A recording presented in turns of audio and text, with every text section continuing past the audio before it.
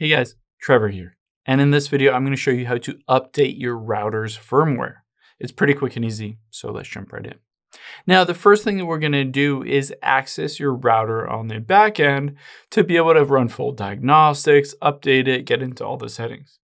So to do that, let's head into your settings here on your phone or your computer. And we're going to tap on Wi-Fi and then the little I right next to your Wi-Fi network. Now, what we're going to look for is the router IP address. It usually starts in 192.168. So let's tap and hold on it and hit copy.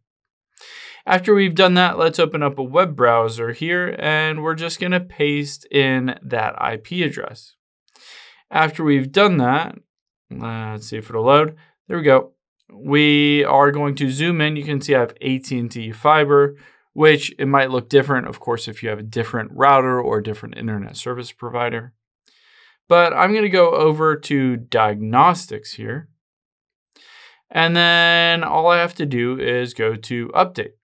Now, this will allow me to update my router to the latest firmware. However, it says basically this is protected. You need to find the access code on the router itself. So look for basically it'll say access code or something like that. It's a number on the router and you just enter that in here. It'll allow you to continue.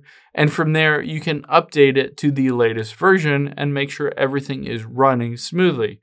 Of course, if you need to, you can always go back and just hit reset. If you want to factory reset it, basically to the default settings for everything, and then just start fresh setting everything up.